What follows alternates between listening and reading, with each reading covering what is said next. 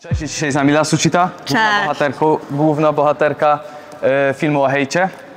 Powiedz mi, jak ty sobie na przykład radzisz z hejtem, bo na ciebie było dużo hejtu, jak zaczynałeś swoją karierę No w bo internecie. ogólnie, no bo się wybiłam w łatwy sposób i wszyscy mi tego zazdroszczą, że nic nie musiałam zrobić, żeby być sławna w sumie. Mm. I dlatego jest hejt, bo mi zazdroszczą po prostu większość. I tyle w sumie. Tyle w Ale widzisz, teraz masz swoje koncerty, swoje filmy.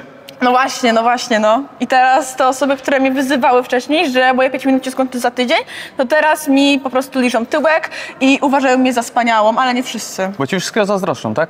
No raczej tak. Większość tak. No niektórzy są złośliwi też, ale no większość osób mi zazdrości. Nawet widać to z ich wypowiedzi po prostu. A twoja babcia też z hejtem walczy?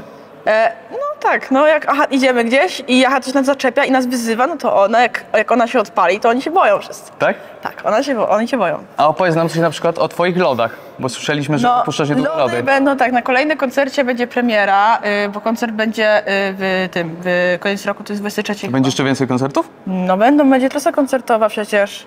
O W sierpniu, no tak, no Patryk wszystko ogarnia, no. I będzie koncert 23, 24, nie wiem, który, kiedy jest zakończenie roku szkolnego, bo ja nie chodzę do szkoły.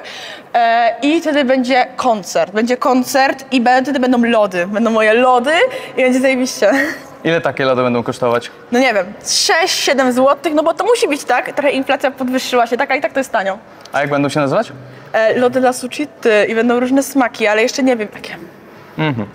Dobra, dziękujemy bardzo. No.